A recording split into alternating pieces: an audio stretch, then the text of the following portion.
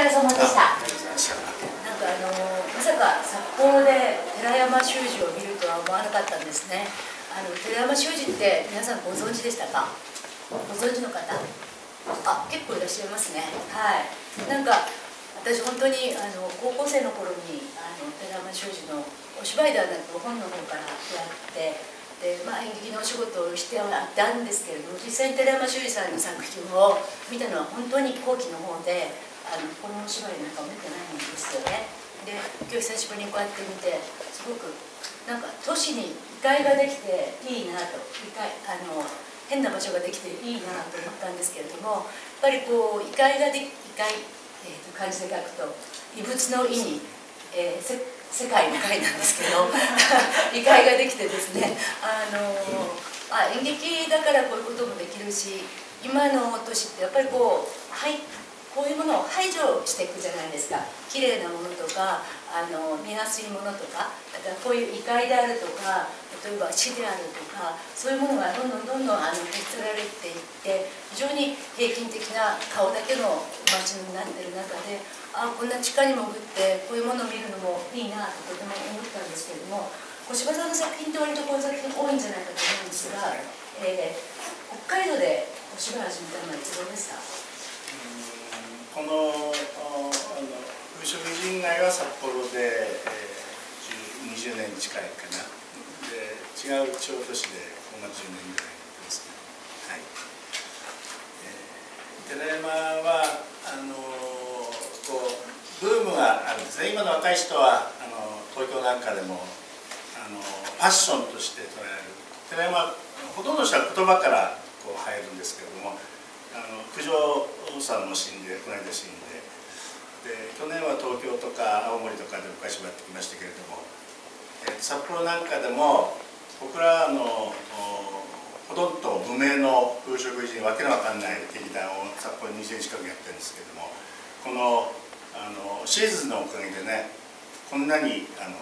こう僕らみたいな無名の劇団が見ていただくということが非常に嬉しいということが一つ。それからあの時代がね寺山とか今アングラという言葉なんかないんですね。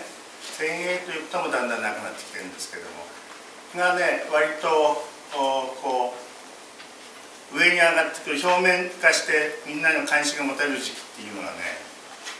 世の中がねなんかやばいかなという。そうですね。60年70年今の某あの首相のおじいちゃんがあの大変な時国会を取り巻いたという。その時からあのいわゆる今も言葉ないですけどアングラ四天王というやつがガンガン出してきて、えー、唐十郎とかあの鈴木隆とか寺山とか佐藤とかっていうのがねこういう芝居をやり始めた一番最初なんですね。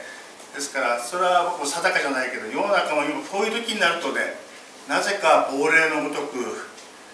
あの寺山とかなんかが出てくるんですねだからこれ出てくる時はねやばいなという世の中がやばいなっていうあの僕はほら演劇人ですからねなんとなくそういう感じがしますね。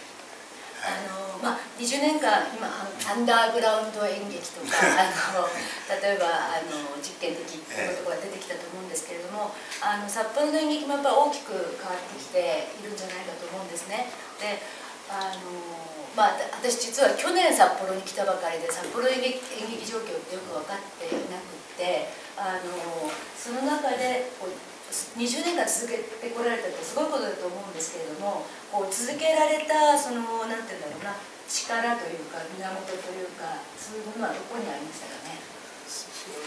そう僕ども聞きたいぐらいなんだけどもただ一つはねあの例えばうち今回たくさん出て若者いるでしょ。うであの木村さんとかなんかはその札幌で演劇で、えー、なんとか飯を食わしてあげたいということで創造演劇創造なんだかっていうのは、まあ、彼女たそういう人たちがグループを立ち上げたんですね。でそれで僕はそのことについて具体的には分からないけど例えば今日来たいる若者たちなんかのほとんど半分ぐらいがどういうことをしてるかというとそれは僕はもうもう僕が自慢してもしょうがないんだけども今日は日曜日ですけれども、えー、っとみんなお芝居やりたいからアルバイトやってるんですね。でそれどういうことかというとこれから今日終わって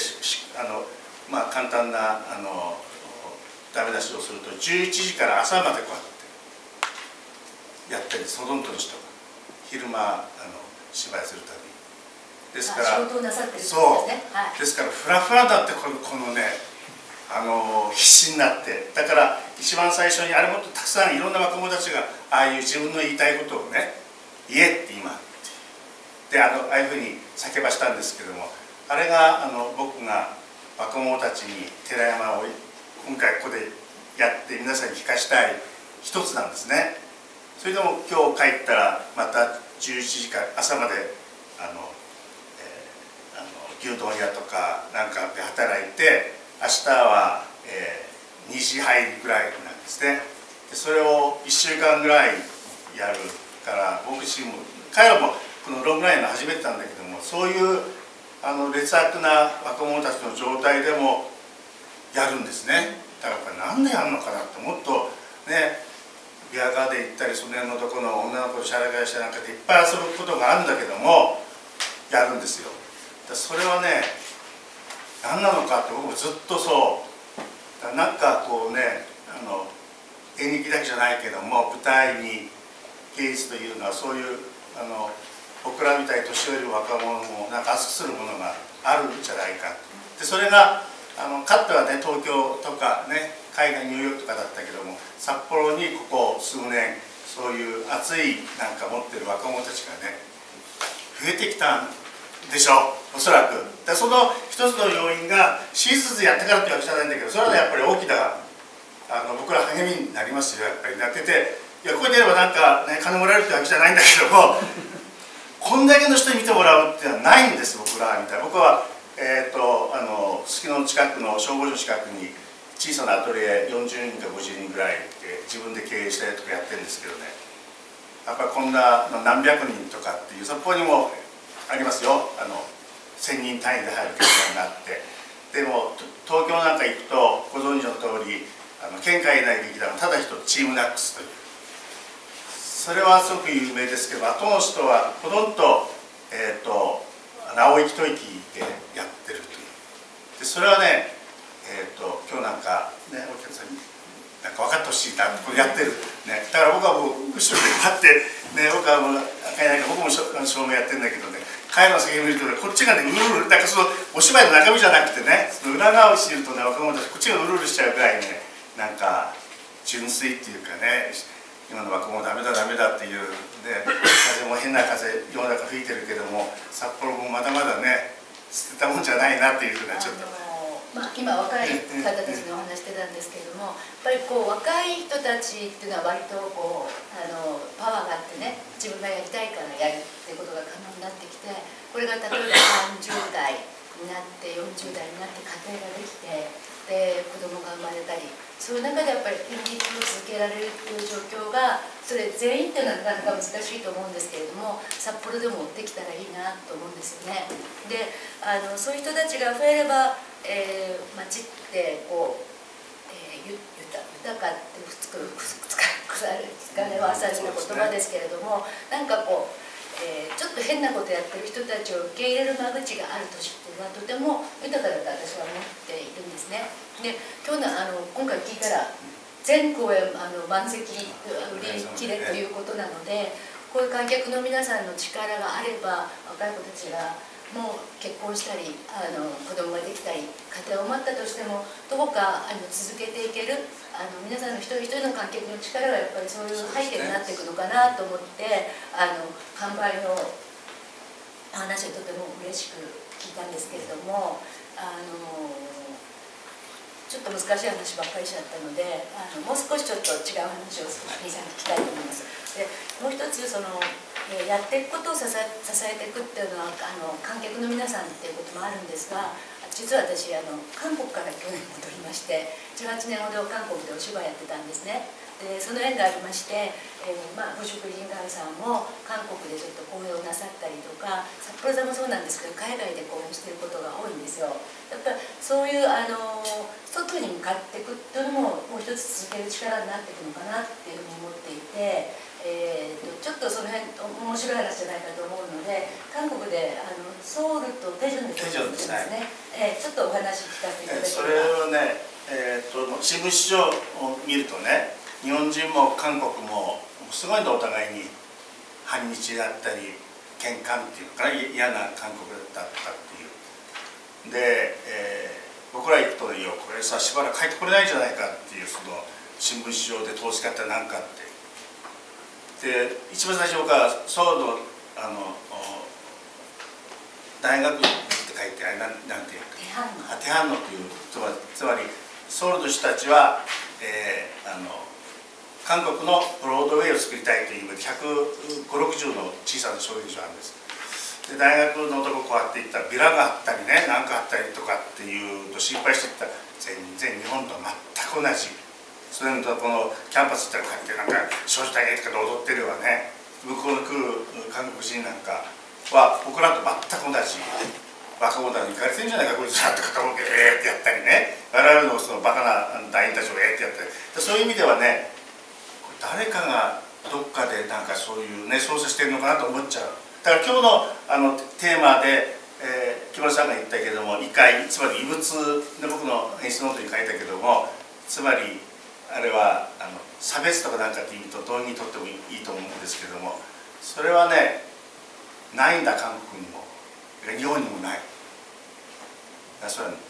誰がっていうねそれは分かんない僕はそう政治に興味ないから。だからねそれで、えー、韓国なんかにあの今度はここにも来るんですね。何回もあのこう我々もこう言ってますけども。それであの8月26日にね韓国これはあの、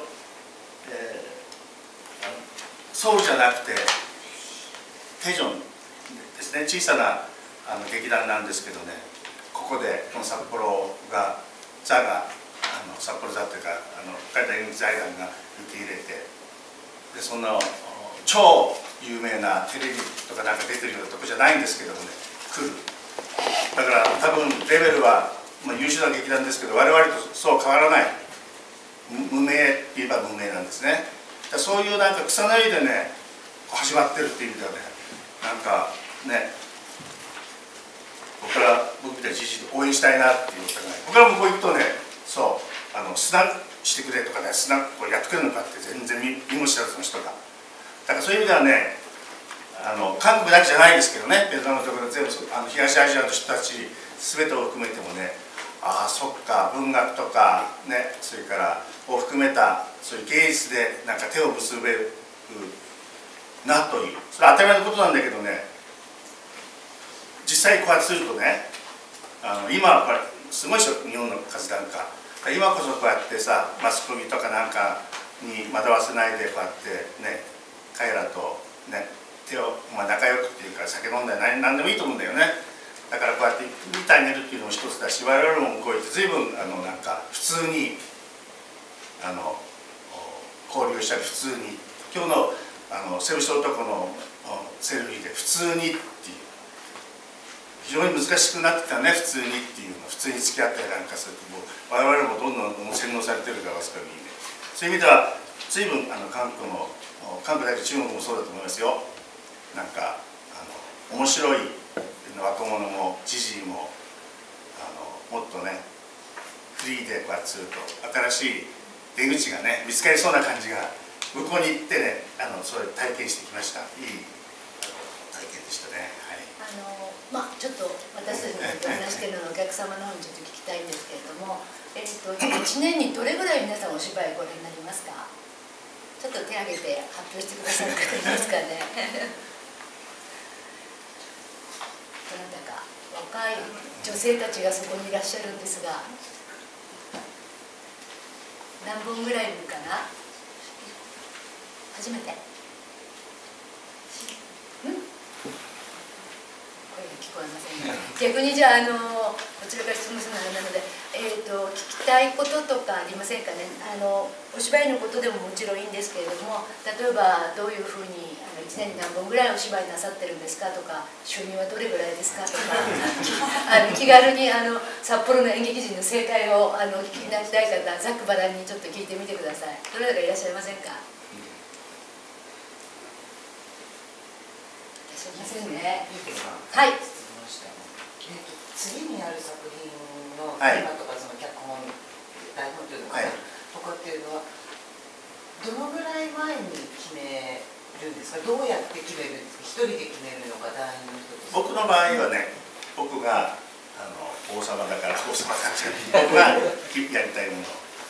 で僕の僕はもともとテレビテレビ中心にしまったもんだからね支店の人で鈴木大輔は僕の師匠なんだから師匠なんですけどもえっ、ー、と今やってるともう次の本をだからこの次は、えーと、泉鏡花の作品をやるんですけど裏に書いてますけどそれとかあのうちは寺の丘にギリシャ悲劇とかそういう古典も割と得意なもんですから半分やり始めた次という次の作品はこうやってそうあの模索してなんかだから他のあの日本だけじゃなくて他の劇団のものを見たり映画を見たりなんかこれは論理的じゃなくてあのこうビジュアルでものを作る方なので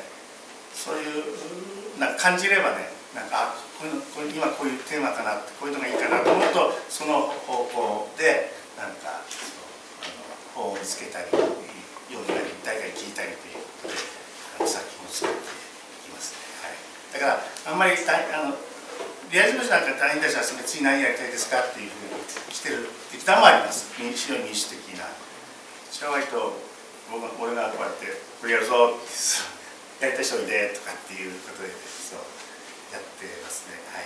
情報は皆さんに伝わってますか？例えばあの小島さんのところ風蝕異人街で、えー、次回何がやるんだよとか例えばズーでは何かこういう公演があるんだなとかって割とあの情報にアクセスしやすいんでしょうかねお芝居って。いやほとんどね、うん、知らない、うん、そう。うちらのうちらの劇団僕20年近くやってるけどね、うん、札幌の人は一部のマニュアルでしたけども、ほとんど知らない。それから次のだからそれはねやり手側にも責任なんだよな、ね、PR の仕方がね分かんなくて金もないし何もないしという。だからもう11ないんだったらこんなでっかいすごく金があるから分かんないけども。映像でね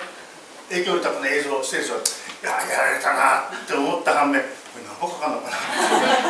そのね小島さんっていう人優秀なプロデューサーが後が聞いてこないと。だから地下街のこうね。だから今度は僕らは僕はアナログだからさアナログだからあれだけども例えばあの申し込むんだって今コリッチというのでねなんかやったりネットでしたりだからそういう宣伝の仕方はね僕らなんかチラ昔と同じチラシを封筒に入れてでこうやって送るからアンケートになんか住所を書いたりしてくださいとかって言うんだけどあの最低昨日なんかもね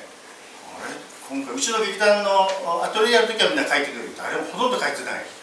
なんだ書かないって書かないよな。だって個人情報漏れたらさね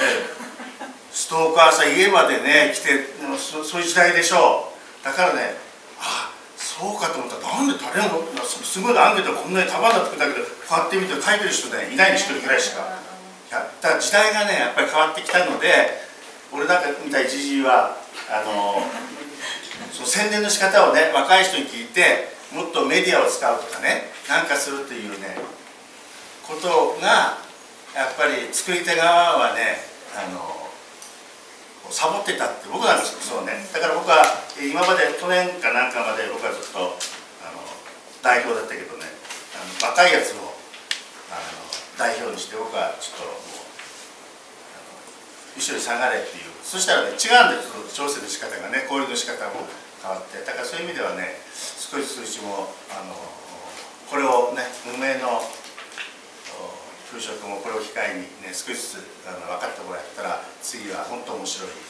中身は僕自信があるんだけどね宣伝し方が全くねそういうノウハウは。まああれですね、作り手あもちろんあの作り手側にもね、やっぱりそういう努力が皆さんと出会うあのどういうふうに出会っていくかっていうねあの、まあ、情報だけじゃなくてどういう出会いをしていくかっていう努力をやっぱりしていくことが、まあ、これから作り手側がやれること、でまた見る側の方たちもそれを見てぜひ足を運んでくださることが私たちになんか食いつけるようですが、うん、未来的にできることということでよろしいでしょうか？あの舞台技術だって話だけどもこれで僕はいつも言うんで僕たちは別にあの国家試験を受けて演出家とかになるわけじゃないからお客さんがゼロだったら誰とないの舞台ってね。いつも演劇って何ですか？って言われるとねみんないろんな教科書みたいな本に書いていや演劇演演劇とは何だとか何かって言うけどね、うん、お客さんいない誰もいなかった。らここでやったって言われた。それがもういつもね第一ね。だからそういう意味ではねなんかどっかの昔お客様が神様だって言って言った昭和人がいたけどもねね同じですよ。だからそういう意味ではちょっと飽きさせないねだから僕ら作り手があってお客さん飽きさせないあの作品を湿度高い札幌でも東京行かなくても入れるような匂いが入れる湿度高いものを日々訓練して作るというのとさっき言ったね。どうやってやったらその明日何やるよということをねできるかって。まああのでかいとこはここのあの演劇財団とサポーザーと今回によってずっとあの外れた外れたしかないからとりあえず外れた。西とねあのこの中央区の方とこうやってあるんだけどそういうのがねあるともっとじゃこの